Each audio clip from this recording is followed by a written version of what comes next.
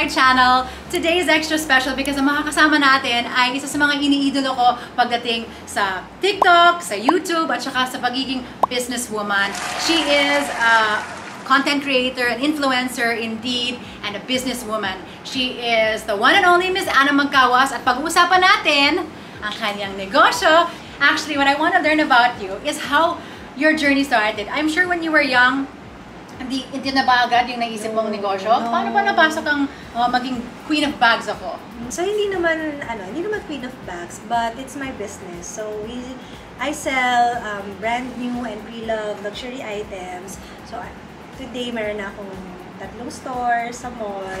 Pero I started nang wala ako kahit isang luxury brand na bag talaga. So Mm. lahat yan hindi ko kilala before. Mm. It's just that siguro na taon lang na ito yung naging linya na kung saan ako sinwerte. Okay. So, buy and sell, dati sa bahay lang, Mhm. sa garahe, Mhm. converted to a shop, Mhm. tapos online, online, and then hanggang sa marami na nagtiwala. Siyempre, yun naman yung puhunan natin when it comes to business talaga, especially kapag hindi tayo nakikita ng tao. Mhm.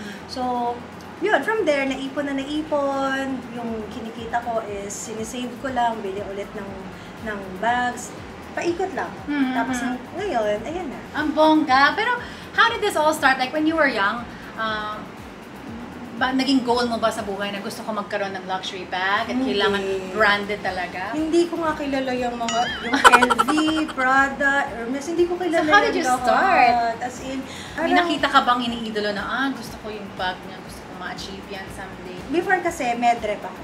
So, Mm. I graduated Electronics and Communications Engineering. Tapos, hindi ko siya pinursue. After ko mag-graduate, so nakipagsapalaran ako dito sa Manila. Nag-call center ako. Agent ako ng copier machine, carry boy, yung parts ng pick-up. Wow.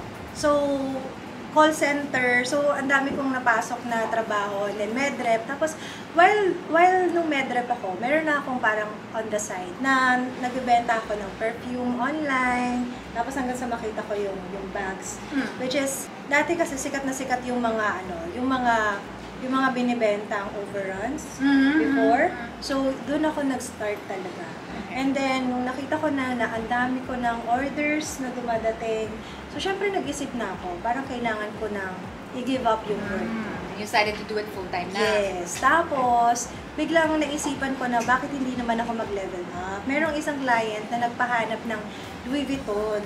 Sabi ko, saan naman ako bibili ng Louis Vuitton? That time, parang second hand is ah, 25,000 pesos. Mhm. May bibili pa ng ganito kamahal na bag. Diyos ko, parang, ha, totoo ba yan? So, ako noon, wala rin talaga akong idea, wala akong alam. Pero basa-basa ako, internet, syempre, naki-google naman lahat, di ba? Mhm. So, basa, tapos tingin-tingin ako online Mm. ng ng mga sellers. Dati ang dami na kasing sellers din before Mhm. ng mga luxury bags. Mhm. At hindi ko akalain na ganon kadaming addict na Pinoy, Pinay sa mga luxury bags dito sa atin. Bakit sa tingin mo na-addict ang mga Pinoy or people in general sa mga luxury items like bags and shoes and jewelry? Actually, hindi ko din alam. Ikaw hindi ka ba addict? Aba, aminin mo. guilty. addict ka din, di ba? Nag-guilty. Hindi, tanong ko, like ikaw, will you wear local brand shoes? Oo naman, magsusuot ako. Pero, yung thing is, kapag ikaw nakaranas ka na, na yung buhay mo medyo guminhawa at afford mo na makabili ng mga something na luxurious brands na hindi mo naman nararanasan before, Mhm. dun ka na magkakaroon ng parang ano eh, you reward yourself. Mhm. Parang That's so ganun. true. You reward yourself na um, pinaghihirapan ko naman to, pinagpaguran ko naman to. Why not? Bilhin So you choose to wear like lagi mga branded items, clothes and shoes, din, Sa bagay, ano na rin yun, image mo na rin yun, at saka yun naman yung More of ano, personal branding. Mm. Pero syempre, hindi naman kailangan din palagi mahal yung suot mo. Mm. Like, I wear local brands din. I wear yung hindi naman kailangan yung damit mo is Gucci or mga mamahalin or LV. Mas maganda pag... Ah, diba? May ano, may impact. Okay, alright. May impact. Syempre, ako naman, ang sarili ko, pinupuhunanan ko siya, bags, watch, jewelry, and then the shoes. Kasi syempre, me bilang owner ng isang luxury Mm, store, yes, alangan yes. naman, di ba? Magbebenta ako sa'yo ng ganito kamahal na bag and yet ako wala ako kahit isa. Yes, yes, that's true. Ano okay. mo ako paniniwalaan, Tama. diba? Okay, okay. Mm. About your business naman, um, can you share kung ano yung pinakabongga mong client na maraming nabili? Ay, madami. Madami? Madami. Meron Ano ba? tipong- Isang single order na Ah, madami? oo. Ah, isang araw lang, bumili lang tatlong Hermes. Oh my gosh. Bir- Birkin pa yun ha. Wow. Birkin, tapos isang Kelly, tapos isang ah, ano pa ng Hermes. So, Is that brand new or second hand? Yung isa is brand new, yung dalawa is na good as new. Mhm. Second hand, pero good as new, slightly used lang siya. Mhm. So yun, maraming addict talaga na ano. Hindi Good for inaka- business yun. yes, it's good for business.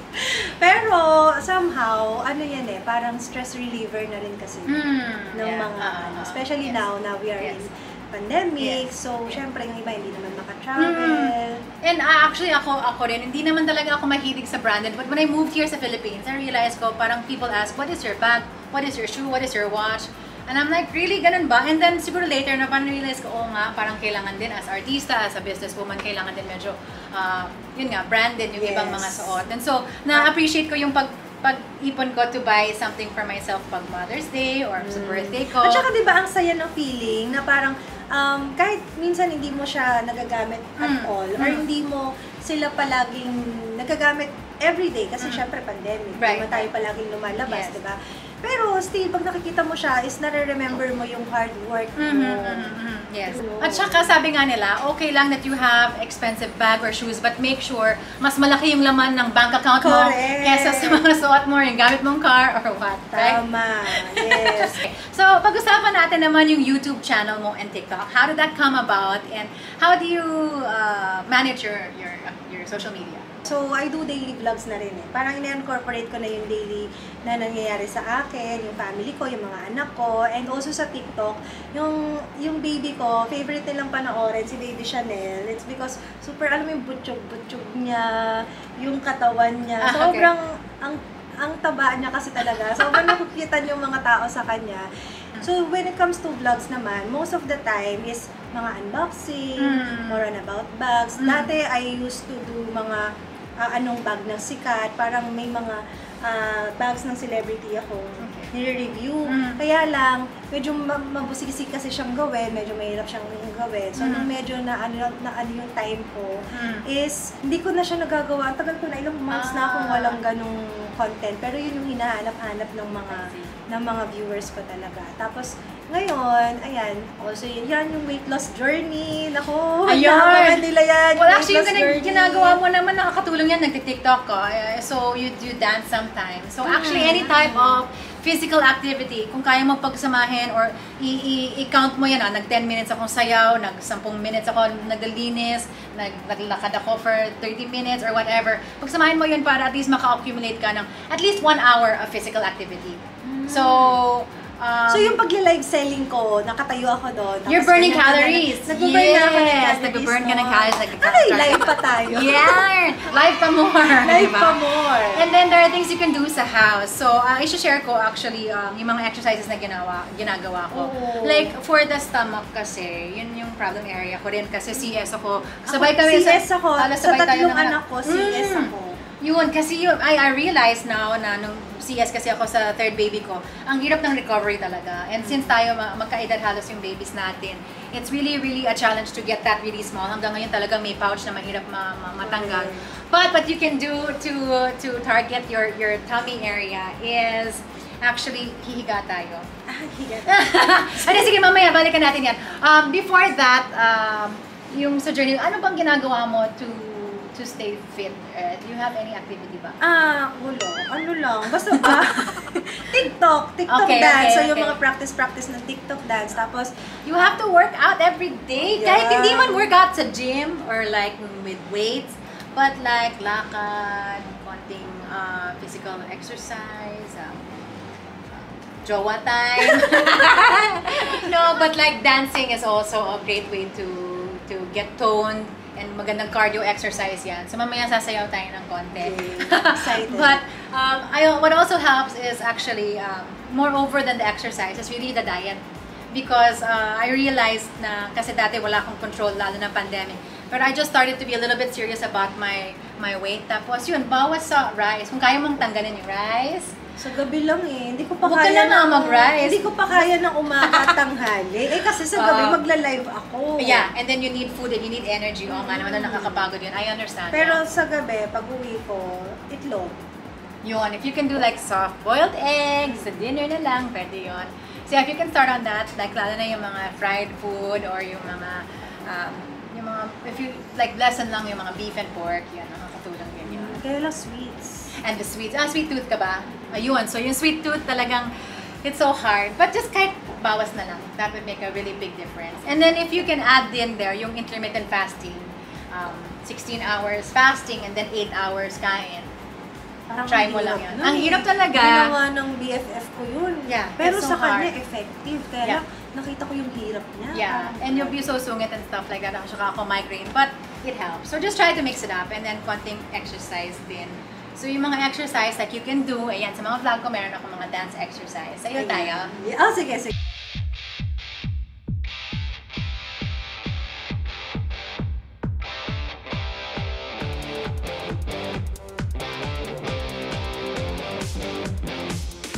So for our target area na tummy, Yes. ah, maganda na ginagawa ko is actually twisting.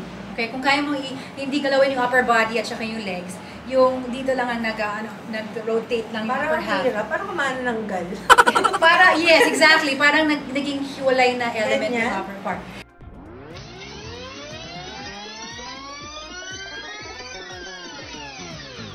Okay, may suot na si Marcy na parang waist shimmer. So, anong feeling? um, feeling ko sexy ko. Diba? Kasi Parang lumabas- bakit kasi laging maluwag ang suot mo? so, dapat pala ano. Dapat, so, dapat ano, meron para maging mas conscious ka sa sa sa, sa, sa Palaging may binder or yun nga, corset. Para makuha mo yung shape na gusto mo. Oo. Diba? So, totoo pala yun. Yes, nakakatulong siya. Big help siya for me. Aside from diet, yan, exercise and healthy eating. Okay, so wearing this, kasi I also wear this when I do uh, workouts also sometimes, para makontrol yung chan at makompress siya lagi. Let's add a dance step. Okay. Okay, so the step, step. Yan, step. step. Yan. So we'll do this four times lang. And then we'll roll and up. And roll and up. O, diba? Dali lang. Ang sexy mo kaya gumala. Okay. Next step is side. Side knee up. Side knee up. Yan. The BTS to. Side knee up. up. Yep. Four times. And four times. Yeah. Then we go roll down. And up. And down. And up.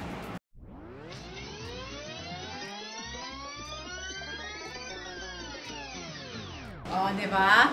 So actually, that's a permission to dance. Parang ang init na. di ba? Kailangan mo yung gawin every day. Oo nga, guys. Naka, ay, sobrang ano, na-inspire tuloy ako. Di ba? So yun, those are ways to control the belly and to have overall health. Para ma- maraming maraming ka pang years to do your business and spend time with your family. So, hindi lang siya sa pagpapasexy, but also for healthy ano body. Yes. And sa ano, sa sa arms. Sa arm flab yun, that's a trouble area. Lalo na ako, yung underarm flab. Mhm. Let's add this exercise na pwedeng gawin sa bahay. Madali lang to. So we sit on the chair. Okay. Yan. And your hands on the side.